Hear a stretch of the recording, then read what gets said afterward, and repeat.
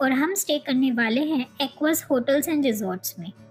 Enter करते ही सबसे पहले आपको दिखता है पूल और यहाँ की पूल व्यू रूम्स और उसके साथ ही रिसेप्शन एरिया ये प्रॉपर्टी दो पार्ट्स में डिवाइडेड है, जो कि रोड के आमने सामने है। हमारा रूम रिसेप्शन के अपोजिट साइड वाले पार्ट में है। इस पार्ट में भी एंटर करते ही सबसे पहले आता है पूल और Aquas bar and Aquas bar के ऊपर है ब्रेकफास्ट एरिया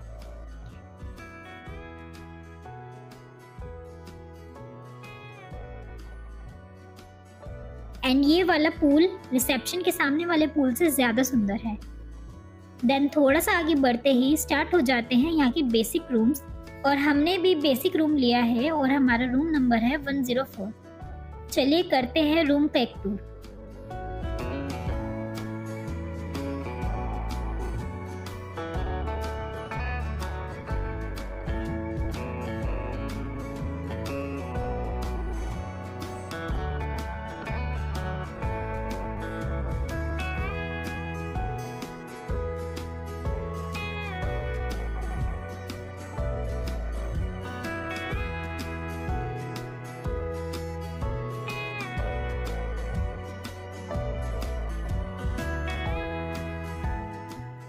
रूम्स के बाद आता है प्रॉपर्टी का ओपन एरिया और you can see kids play area जो कि डिफरेंट डिफरेंट स्टैचू से सजाया गया है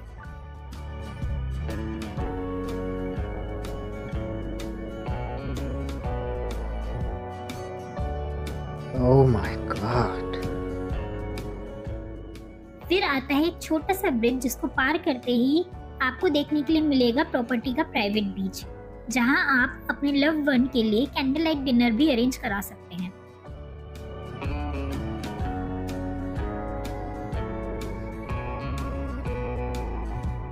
This is the breakfast area and breakfast area से पूल का एक बहुत ही ब्यूटीफुल व्यू आता है। एंड ये एक ओपन एरिया है जिसकी वजह से यहाँ बहुत सी चिड़ियाँ घूमती रहती हैं। और अगर आप अकेले ब्रेकफास्ट कर रहे हैं और कुछ सामान लेने के लिए उठते हैं तो चिड़िया अपने हिस्से का ब्रेकफास्ट आपको प्लेट से ले जा चुकी हम गए थे अंडमान और अंडमान से हम पहुँचे नील आइलैंड में और नील आइलैंड में हमने जो बहुत ही खूबसूरत सा रिजॉर्ट बुक किया था वो है टी एस जी और आज जिसका मैं आपको रिव्यू देने वाली हूँ, आप जैसे ही देख सकते हैं कि हमने एंटर करा और हमको ग्रीनरी दिखनी चालू हो गई।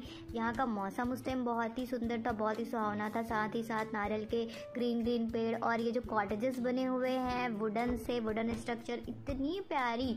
मतलब जब मैं रूम पे गई तो फर्नीचर सारे वुडन के थे। हर चीज़ आपको लिटरली जो समुद्र के किनारे कॉटेजेस वुडन के बने होते हैं उसमें रहने में जो मज़ा है ना मतलब आप कभी भी अंडमान आए या कभी भी ऐसे जगह पे जाए जो समुद्र के पास है तो आप वुडन कॉटेजेस पे ही रुके। आ, क्योंकि सबसे बेस्ट सबसे बेस्ट जगह लगी मुझे ये।